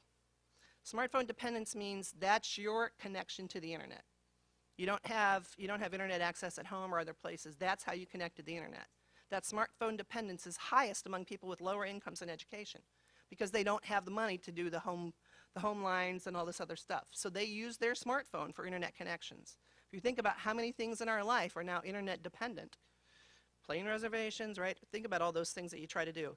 Libraries, I mean, all kinds of things now you require the internet for. So the thing is, is that the smartphone is just, there's going to be more demand for this. And we haven't really figured out very well yet everything we can do with it for health. So this is from the Pew Research Center, and I know this is maybe a little hard to read, but what I'm trying to point out here is that people 50 plus use text messaging, internet use, voice and video calls, and email as much as the younger groups do. And when we actually dig into this even a little deeper, and these are smartphone users, one of the things we know is that there's really sort of two groups of older people. And these are my terms, these are not the Pew terms. So the, there are people who are connected, the older people who are connected, and the older people who are disconnected. And it's the digital divide. Except if you think about who it is for us, what does this mean? The connected ones are the young people who are younger, higher education, and more affluent. There's no surprises there, right? Who are the disconnected ones? Older, less affluent, health and disability challenges. Who's the home care patient? The disconnected, right? Because they tend to be older and they have health problems. That's why we're seeing them. So I think we have to sort of keep in mind that even though smartphones and all these things are growing, we still have this digital divide, which is just as big in the older populations as it is in other places. So some of the challenges for um, older people in technology are physical challenges. I don't know about you, but if I take my glasses off, I can't read my phone sometimes, right? And if you have text-based things, that, and there's a lot of text, the font sizes don't work for lots of people. Even if you blow it up, then you can't read it on the screen, and you change the directions, or you, you do any of that kind of manipulation. It's like juggling. There, then there's skepticism about some of this technology. And those are real concerns. Even though we may have good evidence from the healthcare provider side that there are real things that we can do, there's going to be some skepticism about this because remember, these are folks who are the digital immigrants, right? They didn't grow up with it like my kids did. And they're a little skeptical about these things. They're worried about privacy, security, is this accurate? Who can see my information? How do I know it's really you? It's all these things that they're concerned about. And then difficulties learning to use things. So what happens, the interesting piece is though, from the research, once people get online, these older people get online, they, technology becomes integral to their life. So if you can sort of get them to convert, then you can actually, you can actually get them. A lot of older people, 77% own, own cell phones but only 18% of those are smartphones. So anything that's a smartphone app is not necessarily going to work for an older population. So I think this is where, so I, you know, I can get really jazzed about some of these good apps, and then I'm like, wait, here's the problem. They're smartphone based. So it's not the flip phone with the text, right? So they, uh, they asked me to talk about this fitness band study. So one of the things we know is that um, physical activity is really important and beneficial for older people, even people with, even people with heart failure and other kinds of conditions. We were always concerned about, can we do this, can we do this? So the, the evidence shows that it really is safe. So what we're trying to do is promote physical activity. So one of the things that we're doing here, and this is from a, this is from a study I did with some colleagues in engineering, is we looked at fitness bands. So why were we looking at fitness bands? Because the person, I'll go back here, the person who's second, who has PhD after his name, Dr. Lin, this was his dissertation study, and he was building a fall sensor. That's pretty cool. He was testing it with that. So what we did is he had him wear three fitness bands at the same time to sort of validate his falls sensor. So we're looking at the data and going along, looking at user satisfaction. We actually did it in, in a regular place, not in a, not in a lab, so it was unusual because it was done in a home environment, it wasn't done in a lab. Um, and then we got the data, I'm like, what is going on here? So I'll tell you what happened here. So we had 13 older people wore these three fitness bands for an entire day, from the time they woke up until they went to bed. And they also wore Charlie's sensor, because he wanted to test his sensor. So why did we do that? We wanted to make sure his sensor was validating and catching things. They wore them all simultaneously because he was concerned about just using one or the other. These have all have proprietary algorithms, so how they count the steps and how they count the calories is a trade secret. We're good with that. We just wanted to see how it worked. So what we did is we looked only at the fitness bands here. So we got the step count from each band, and we got the calorie count. And then we did a falls risk, because I was involved, using the MAHC, because we wanted to see the falls risk piece. We also let the end use the system usability scale to see how well they like the technology. And then we did the regular demographic stuff. So we had uh, a good range. Our, median, our mean age was 83. So we had a pretty good age, unlike some of the other studies where they, if you look at some of these fitness band studies that are done in labs, the mean age is 22. So they're college students, right? So we decided, no, we're going to use older people. Um, half, a little less than half, we had, we had males. I was really glad to see that because a lot of times it's hard to get the guys involved, but we had, we had males. Their falls risk was 3.8. If you look at the, uh, the max score of four, um, most of our participants were at risk for falls. Now, these were people who were living in the community and they were not home health care patients. They were people living in the community. So that made me say, maybe that max scale is set too high. Might need to look at that. So what we did is we looked at the mean number of counts. We looked at the mean number of steps per device. And so I give you the information there. And then mean calorie count. This is interesting, but the actually the, the graphs are the fun part. So what we looked at is the correlations between the different devices to sort of see how they did. They were all pretty high. But when we looked at it, we're like some of these step counts were as different as 6,000 steps for the same person. What, that's, I'm like, what? Do we have data error? Charlie, are you sure we did, we did we do this right? So we went back, and I mean, we, you know, I'm like neurotic because I'm like, I'm clearly we made a mistake. No, we didn't make any mistakes. Here's the differences. So you can see that when we compared like Jawbone and FuelBand, it was 1,600 steps different. Jawbone and Fitbit, it was 1,100 steps less. So I'll show you the graphs just because that's the interesting part. So these are the 13 people. And you can see sort of how they, you know, they sort of like number five, they had the higher steps, but again, there was a lot of difference between those folks. I like number 11, where, you know, and so we're all over the map on this. So, what, so here's what we think happened. Then we normalized the step counts. A smaller number is better.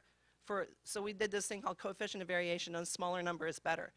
Um, Fitbit had the lowest coefficient of variation. However, I'm not making a recommendation. We only had 13 people. It's not enough to draw conclusions, okay?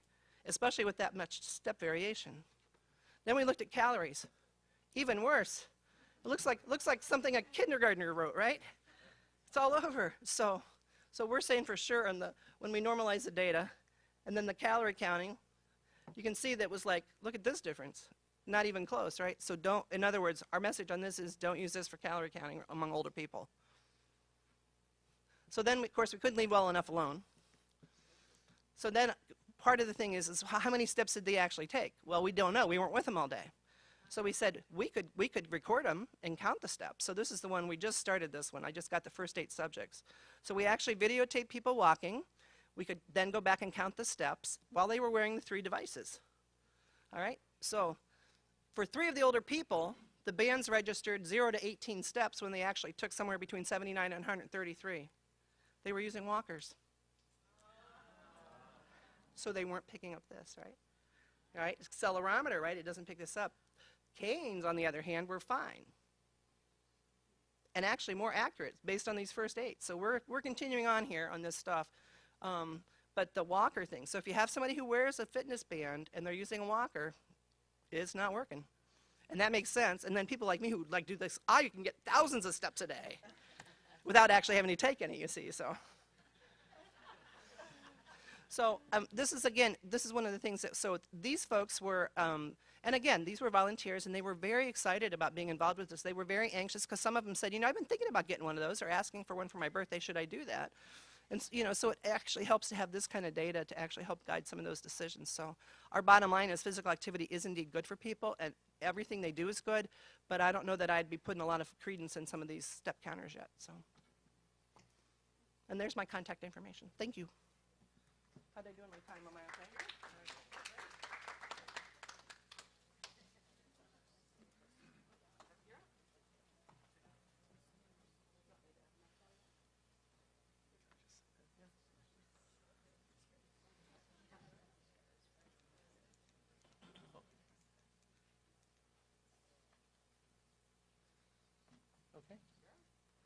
All right, good afternoon. I'm Alan Bugos from Philips Home Monitoring, also known as Philips Lifeline. Um, it's a pleasure to be here this afternoon. I should first mention I'm very new to the healthcare industry. Um, I'm also very new to, to uh, Philips. Um, I just joined the company recently. Um, I'm an engineer and a technologist. My background is primarily uh, around uh, real-time internet-based communications and technologies, video, uh, sensors, hardware. Um, and what, what's really exciting me about being at Philips and working specifically in the home is um, the ability to create what we call the Internet of Health Things. Now, I know Liz mentioned the Internet of Things, and there's also the Internet of Everything, um, but I think there's a tremendous opportunity for us to lead and, um, and help with what I call the Internet of Health Things. Um, I, I'm not going to talk too much about that. I'm going to speak a little bit more on predictive analytics, but um, in general, I'll say a few words about the healthcare landscape, of which this is all fairly common knowledge. I'll, I'll touch a little bit on um, home monitoring, um, where things are happening there, telehealth, um, and then also get into um, some of the platforms. These are the, the, the platforms that um, are open yet secure. They're uh, HIPAA, HIPAA compliant.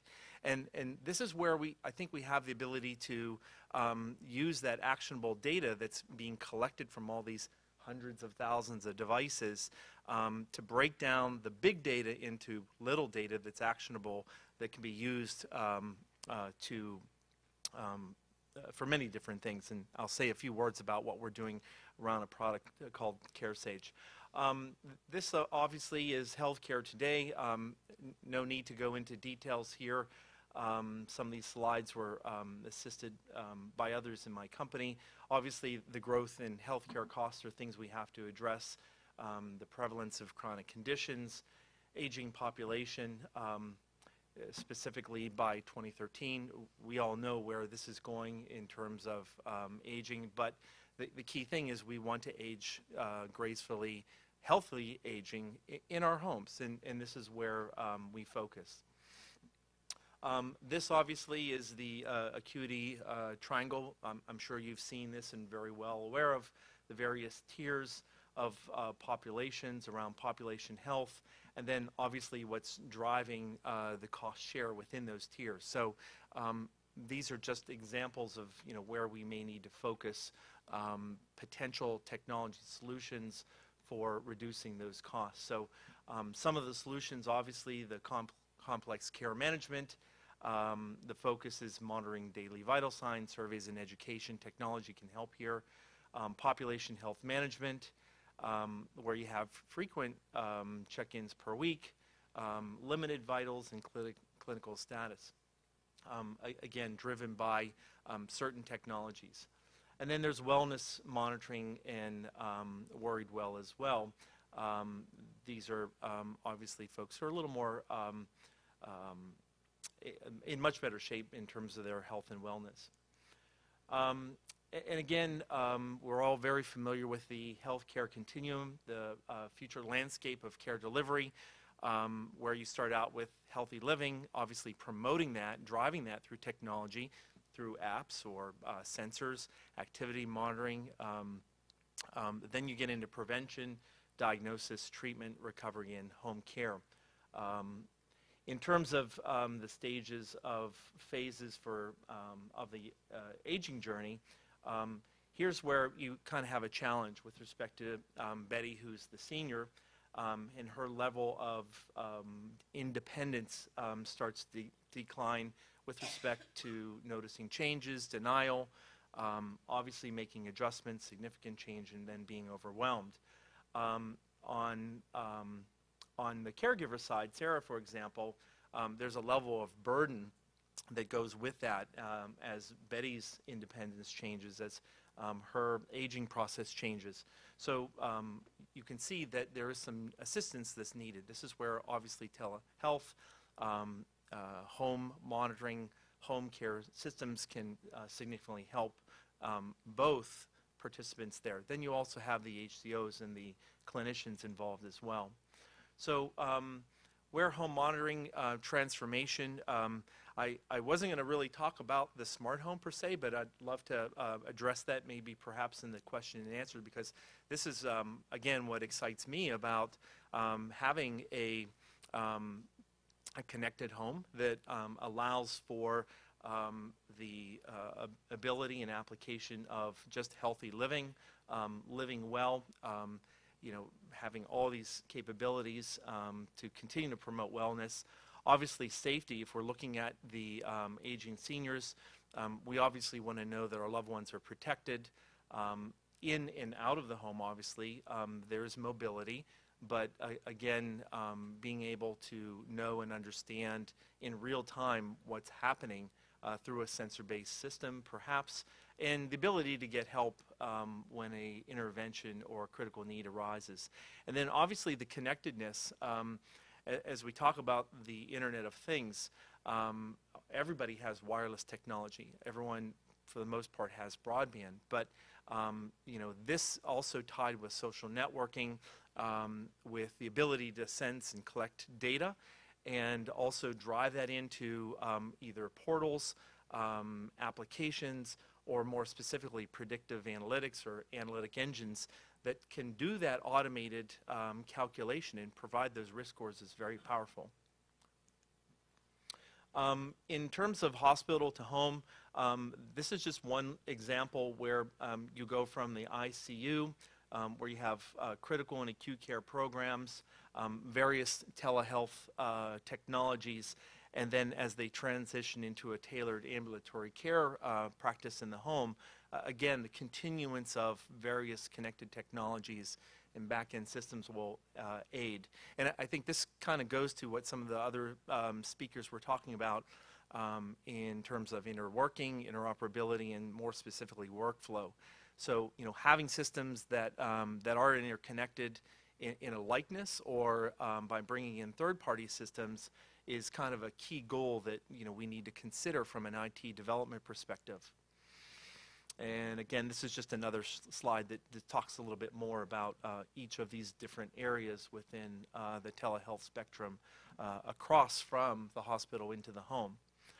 Um, these are just some of the solutions that um, are provided um, specifically by, um, by Philips, and um, obviously um, more of these are becoming connected. that is a, a, key goal, I think, for any vendor now, and it's your ability to do that is becoming very vast and significant because what we call silicon on a chip, or the ability to embed a very small uh, micro sensor, um, is very easy to do. Um, it generates data, useful data, sometimes data that's not useful or too much data, but it's having that back end where you can make sense of all of it is very critical. Again, um, uh, tele, um, telehealth home monitoring systems are also changing. Um, you're seeing more uh, wireless devices, so obviously one of the biggest um, um, complications of, of operating this in the home is um, setting this up, um, keeping it um, operational, and uh, the most important thing is um, ease of use. But um, as things move more to a wireless model where you have very low cost connected devices, this becomes much, much easier. Um, we're moving more from you know computer-based um, technology to what we call mobile phone, or more specifically tablets. Um, tablets are, I think, the sweet spot, specifically for um, aging seniors, where you can have very simple graphical-based user, user, interfaces, very simple inputs, essentially pressing the button and um, getting the uh, the monitoring done. I think the other kind of key capability here, um, because tablets and the use of tablets in, in seniors, I know my parents use them as well, and they love them. It's, it's great. Is the ability to do um, real-time um, social networking, or more specifically, real-time uh, video and audio in, interaction. So um, with um, a number of, of changes in technologies in terms of real-time video and audio communication, this is very possible now. And um, this not only connects um, um, the, um, the, the subscribers or the A&G seniors, seniors to their, their clinicians or their caregivers, but also has the, cap- the capability to interact with loved ones, to check in daily, to get um, a good sense of what's going on. And as Liz was talking about in terms of the smart home, just imagine that, you know, if you had visibility um, from a caregiver perspective or from a loved one perspective to see, wow, the temperature's fine, um, they've gone and um, had, um, they've gone to use the uh, refrigerator, um, obviously, you can't get extreme granularity, but it's getting to that point where you'll get a good sense of what's happening within the home environment and knowing that your loved ones are, are um, safe. Um, and again, um, keeping the mind healthy, um, video education, um, also puzzles, games, cognitive exercises are all part of, of, of the capabilities with uh, internet- internet-based technologies that are all part of the telehealth suite. Um, in terms of um, managing population over populations over the year, um, we're um, looking at the visibility into the white space, and I, I think the white space obviously is, is this area here um, where you have a, a hospital stay. Um, it could be shorter or avoided.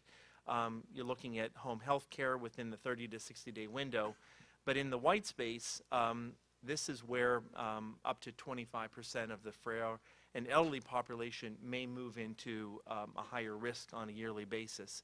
So having more visibility into um, that um, area through um, the ability to collect some data, um, uh, important data, um, and even more data in and around the environment is, is very important. So then in the back-end systems, you can uh, provide real-time uh, alerts, you can do risk calculations, you can do predictive analytics, and um, provide a very different outcome um, based on that information.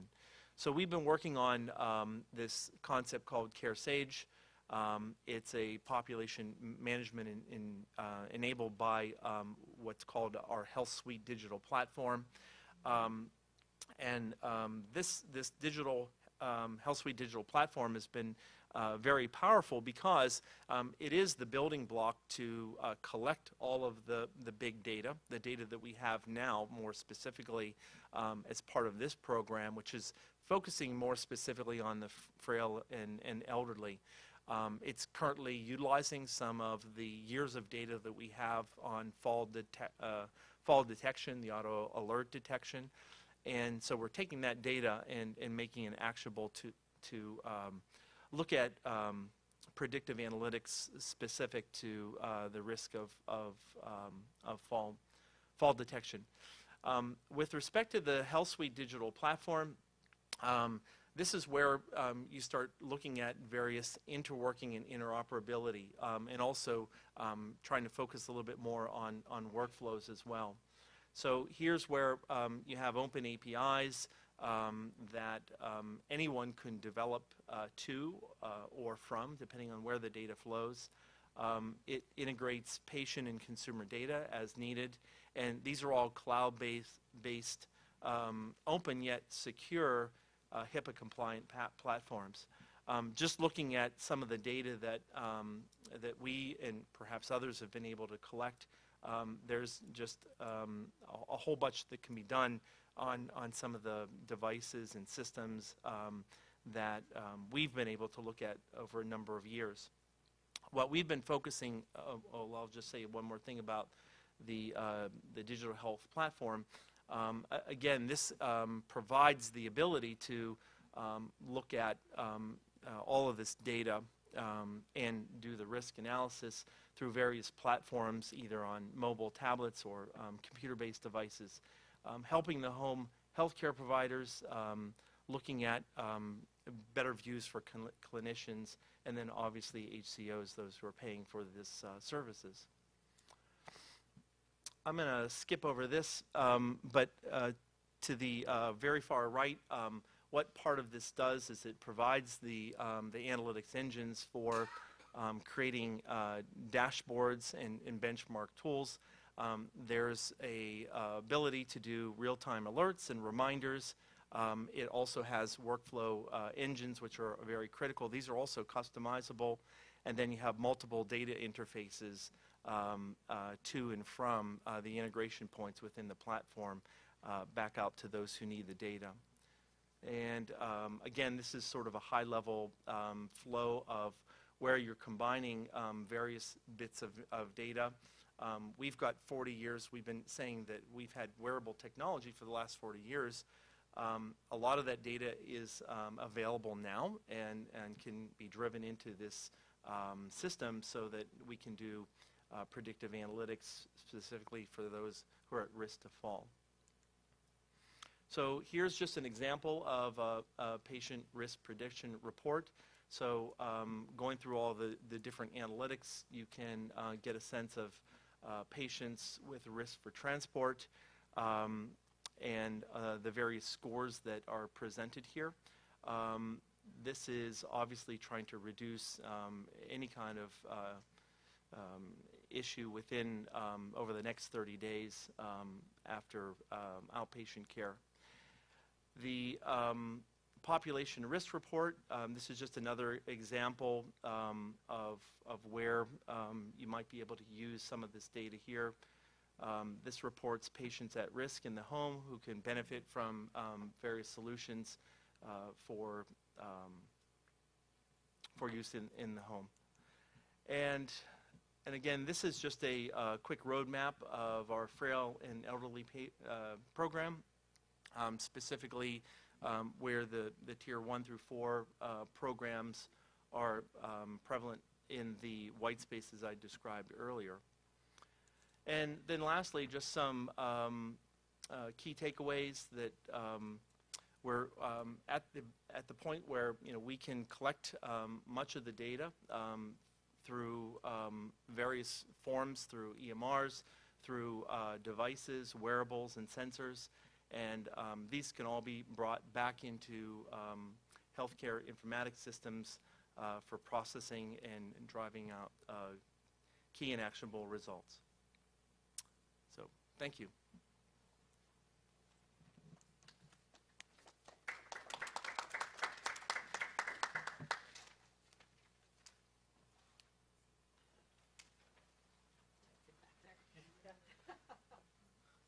Well, even tighter for some of us. How's everybody holding up? One last person before potty break, right? So I'll, I'll watch for fidgeting to see uh, how we're doing on time. Um, as was mentioned, my name's Chris Taylor. Um, in the in the remote. I, I never I never have to. I always talk so loud. Um, in the last 10 years, uh, actually now 13 years, pretty much my, my focus has really been in the remote patient monitoring world. I spent five years running uh, HomMed in the early 2000 era. Went to the EMR world, but worked, uh, the company I was with worked very closely and had a, a, relationship with Philips for about four years.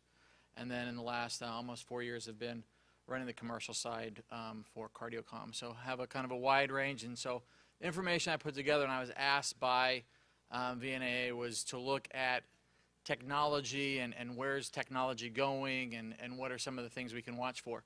Um, and so I, I, in my research, found some pretty cool technology. The piano for the bedridden, uh, the Flowbee, uh, the DeLorean. Y'all remember the DeLorean?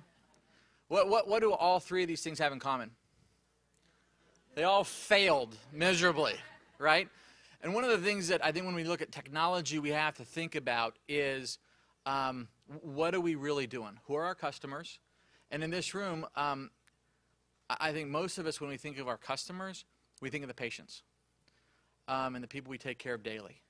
Um, I, I, would put out, um, and, and, Rich brought it up in, in, his discussion with being a home care agency trying to provide um, also a relationship with hospitals in his area. And for those that aren't directly associated to a hospital, those are also customers.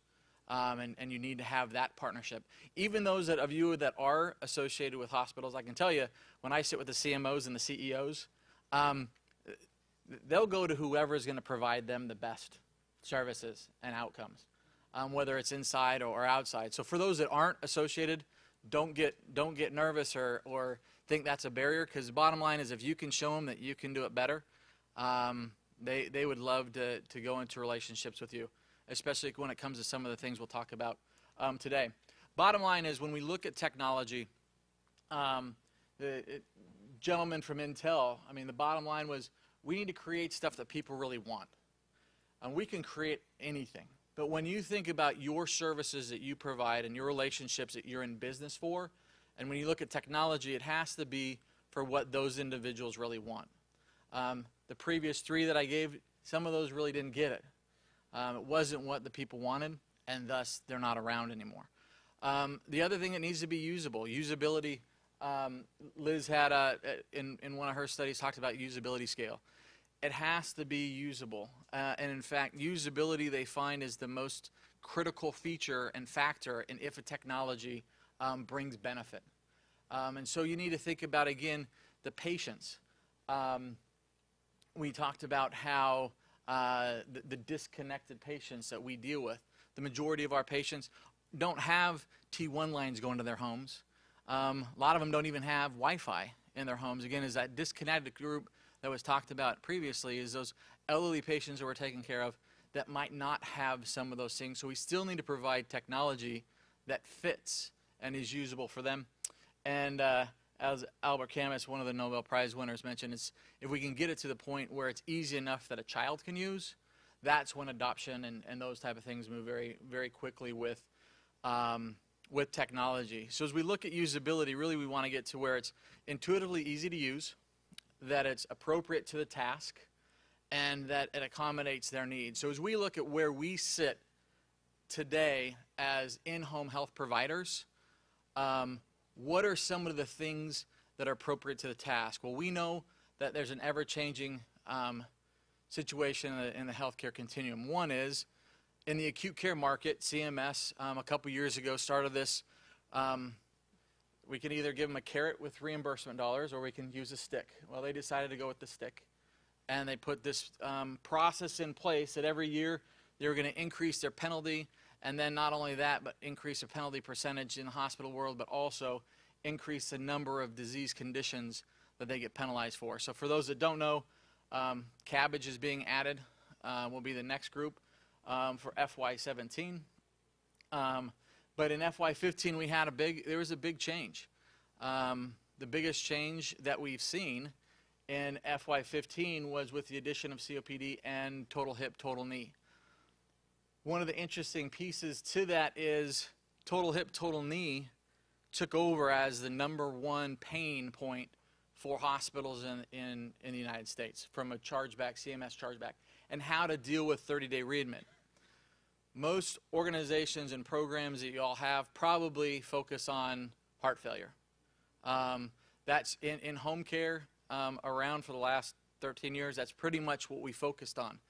But your customer's pain point is maybe a different disease state, maybe something different that um, they're really hurting about. Um, where the chargebacks that they're getting paid um, and hit from CMS is almost twice as big. Well, it is twice as big as, as the next one. Um, so if you if you don't or haven't thought about putting together a post hip post knee specific program and using technologies, i.e., remote patient monitoring, to help do that, to to put yourself in a place to help relieve this pain, I would go back and, and sit with your team and think about what can we do one of the things we know is that just for this example, and, and there's these dollars for, for all of the different ones, but when you look at a hospital and, and those organizations, it's not just the chargeback that they get hit on. But if you look at aver- an average cost for surgical infection, it's a $20,000 hit. Well, if you can help reduce that one um, charge, there's a lot of things that there's a lot of contracted in-home visits they could give to you to help them do that. Same thing with um, a lot of people when they look at heart failure, they think, um, some of you probably look at the, the if you know the hospitals in your area, what their chargeback is, and you say, oh well, I don't have any hospitals that are really getting charged back for heart failure. The reality is, if you look at heart failure admissions into a hospital, almost every hospital in the United States loses money on a heart failure admission. Not the CMS penalties, but just having a patient go back into the hospital. So they're really looking for us as an as as industry to figure out how we can help them reduce that and use technology. And the bottom line is we have current technology that we already have. How can we expand? For example, several of you raised hands that I already have a, a, a telehealth remote patient monitoring that's focused on heart failure. We'll look at expanding that program into some of these other areas, such as post hip, post knee, or COPD, some of these other penalties areas, um, AMI, uh, pneumonia, areas. Be ahead of the game. Start putting one together for post CABG. You know, so you can go in and talk to them about, hey, look, FY17, you're going to be on the hook for post CABG. Let's look at, you know, putting together a program on and helping you reduce that.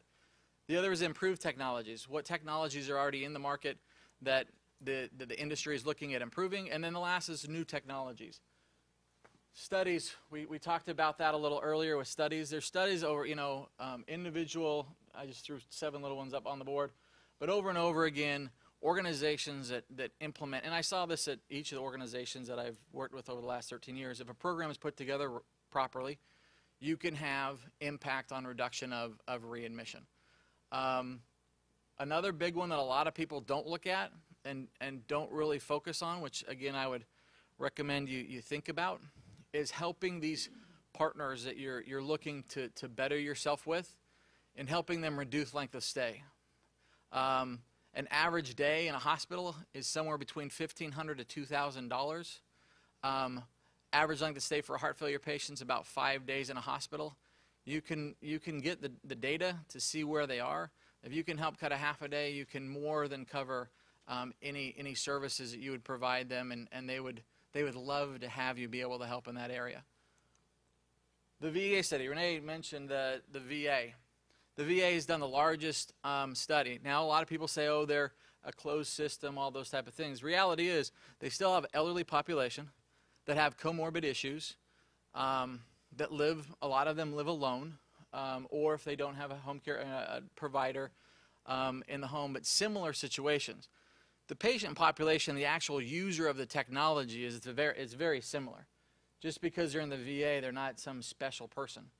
Um, so when you come down to does remote patient monitoring work, if it works for a patient in the VA, there's no reason for it not to work. In fact, um, you know, the VA gets about 700 to 800 monitors shipped to their, their patients, um, remote patient monitors weekly, um, that go to their front door and they set it up themselves. It goes back to that usability. You have to have something that's easy to use um, so it can be that, you know, at that level. But again, if you look at their, their outcomes, 38% reduction in admissions, 58% uh, reduction in bed days, while still having high patient satisfaction. So the, the, the studies are out there, the data is there. Um, as I mentioned, looking at expanding the current program, several of you raised your hands that you have a current program. I would recommend that you look at, again, most of you also probably would state if you looked at the overall percentage of patients in your program, I would I'd have a $100 bill, I'd bet on it, that the majority of the patients in your program are, are specifically looked at heart failure. And so if you have a program that's working helping reduce 30-day readmits on heart failure, I would recommend when you go back and sit with your teams, you look at the others, AMI, pneumonia, COPD, post-hip, post-knee, and then as you move forward to FY17, post-CABG, because again, your partners that you're trying to become customers and build relationships with would love it if you could help them in these areas.